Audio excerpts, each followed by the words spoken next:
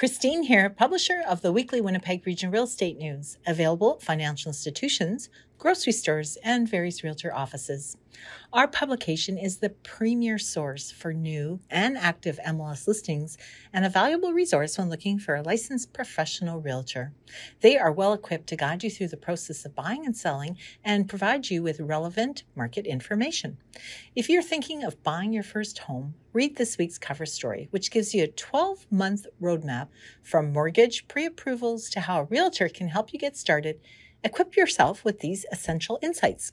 Also, check out our Market Matters column to learn more about the differences between home and tenant insurance and coverage.